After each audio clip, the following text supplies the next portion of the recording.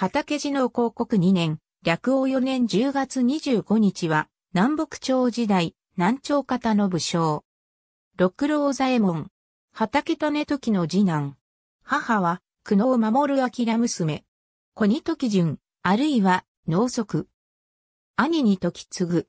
新田義貞の側近で、高代に神殿四天皇の一人に数えられた。畑氏の出自は、政治家系大辞典では、畑氏、明治人略下では、多慈氏とされるなど諸説ある。武蔵秩父郡出身。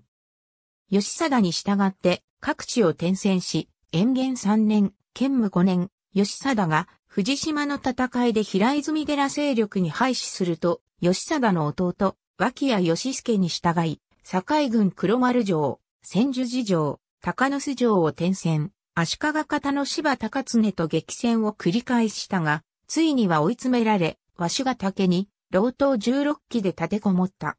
高常は、平泉寺が再び南朝に味方したと勘違いし、一知恵三千の軍勢を差し向けた。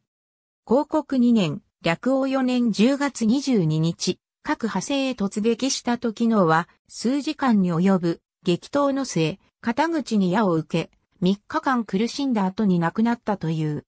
現在、合戦のあった場所は、一時古戦場として1981年4月7日に勝山市指定史跡となっており、畑が塚が立っている。ありがとうございます。